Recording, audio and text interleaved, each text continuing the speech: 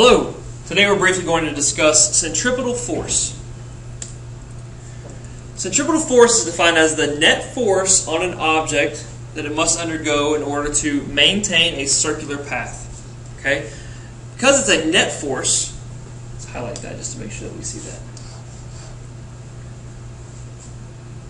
Centripetal force will not be on a free body diagram, only in your summation equation. Okay? Um, if the object travels at a constant speed, only its direction is changing when it's in a circular path. So the force is always going to act toward the center of that circular path. Let's just say, for example, our object is right here. Okay? It's traveling around a circular path. The force, if we were to put on a free body diagram, would be toward the center. That's where our centripetal force would be located. Okay? Our net acceleration is in that direction as well. But we're not going to have that there. Okay, instead, we're going to have some forces that combine to cause it to travel on a circular path. Okay, so if this is a top view of a car going around a circular path. Okay, so let's say the car is traveling in this direction. I'll make the yellow line to show where the velocity is going. Okay, so the car is traveling like this. There must be something that causes the car to stay in the circular path. Okay, and that's what we're going to be looking at when we look at centripetal force. I said it's going to be within your summation equation, and we know that the only places that forces that are not on the free body diagram can be in the, in the summation equation is after the second equal sign. So in this case, if we're looking at a top view, we know it's going to be horizontally traveling in a circular path, so the sum of the forces in the horizontal direction will equal, in this case, it's probably going to be friction, which will equal the centripetal force. Okay? Next thing we need to know is what's the equation for centripetal force? And our centripetal force equation is equal to the mass of an object times its velocity squared divided by the radius of the path. So Fc equals mv squared over r. If we're looking at just centripetal acceleration, all we would do is just take that mass out because we know that F equals ma. So what's left over? That equals centripetal acceleration. Okay? So just in case you ever have to solve for that. Best way to look at these problems is just look at a couple examples. So the first one is we have a horizontal circle. Okay, so the object is going to be traveling in a horizontal circle.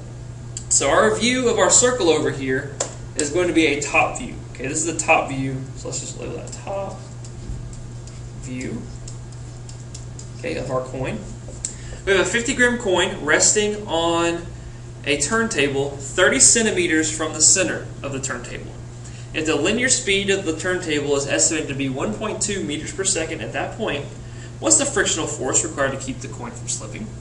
So the question pretty much tells you it's going to be friction. And if we look at that our diagram here, we'll have the force of friction. It's going to keep it in the circular path. If we draw a free body diagram of our coin, we have its weight acting down, we have the normal force supporting it on the surface, and we have a frictional force that's going to keep it in the circular path. Okay? Let's keep that in mind when we set it up. Now we want to do our summation equation, and the sum of the forces in our x direction, because it's a horizontal surface, or horizontal circle, I should say, you know the net force in the horizontal direction is going to be Fc. The only force we have acting in the horizontal direction is that frictional force. So the sum of the forces in the x direction equals Ff, which equals Fc. Thinking back, remember we know that the frictional force is mu times the normal force.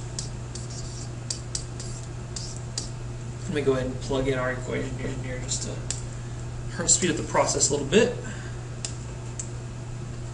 So mv squared over r. Okay? So we're trying to find mu. We know m, we know v, we know r. We need to know what fn is. So if we think back to our summation equations that we did last unit, we know the sum of the forces in the y direction is going to be Fn minus Fg equals 0. Therefore, we know that Fn equals Fg, which in this case is just going to be mg. So we can plug in and we can say mu mg equals m v squared over r. Our m's do end up canceling out. And so we get mu g equals v squared over r. We've got to make sure that we are being aware of our units here. Okay, The r value is in centimeters, 30 centimeters from the center, from the center. Okay, therefore we know that our radius is in centimeters. So if we plug in and we try to solve for mu, I'm gonna go ahead and just give us a little bit more room to work with over here.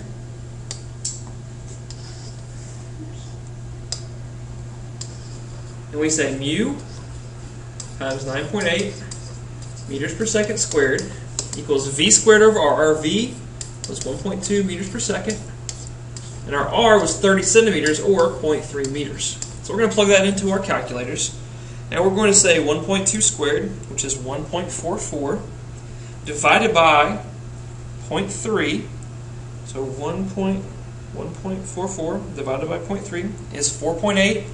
Then we divide that by 9.8. And we get that the coefficient of friction required for the coin to stay still is equal to 0.49. Okay? So that's how you do the problem. If you had a problem where a car was traveling around a circular path, you would address it the exact same way. The friction between the car's tires and the road are going to be what's going to cause the circular path to be maintained. So the sum of the force in the x direction on the car would just be FF, which would equal FC. Okay, so keep that in mind. Let's look at a vertical circle. While we're off here.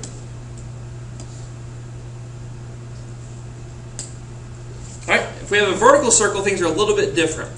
We have a 20 kilogram child traveling through a loop on a roller coaster. The radius of the loop is 20 meters, and the speed at the bottom of the loop is 12 meters per second. What's the normal frictional force, or the normal force exerted on the child at the bottom of the loop? Okay, so in this case, we have a side view. This is going to be our side view of the child. Okay, so a 20 kilogram child is going to be at the bottom. If we look at the forces acting on the child, we know that gravity is pulling the child down. The seat is supporting it upward, and if we have something supporting it, we know that's the normal force. Those are the only two forces acting on our object. Okay, so I'm going to just redraw that over here. Okay, on our free body diagram. You can go ahead and do it on the circular on the circular picture or by itself. Okay, I'm going to do a little star. The green star right here will help us remember where the center of our circle is. Okay, because that's going to be important when we set up our summation equation.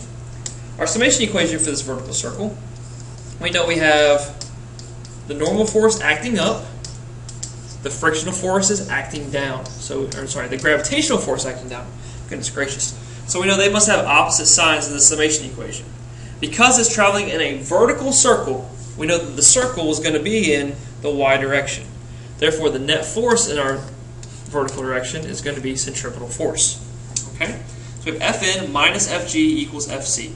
We're trying to solve for Fn. So if we rearrange our equation, we'll get that Fn equals Fc plus Fg. Okay, which makes sense. If you've ever ridden a roller coaster before, you know that you feel heavier at the bottom of the roller coaster because you're being pushed down into the seat. So we go ahead and substitute in. We'll say Fn equals mv squared over r. So 20 kilograms times v squared, which is 12 meters per second, over the radius of the loop, which is 20 meters, plus Fg, which is 20 kilograms, times g, so 20 times 12 squared, that's 144, times 20, which is 2,880, divided by 20 gives you 144 again, plus 20 times 9.8, which is 196, plus 144, gives us that the normal force that the seat pushes back up on the child is 340 newtons. Okay? So just like you've done before, the only thing that's different now is that your net force, instead of just being 0 or ma, now can be Fc. Remember that the centripetal force will be the net force in the direction of the circular path. Okay, so keep that in mind. You should have no problems at all solve these problems. Thanks!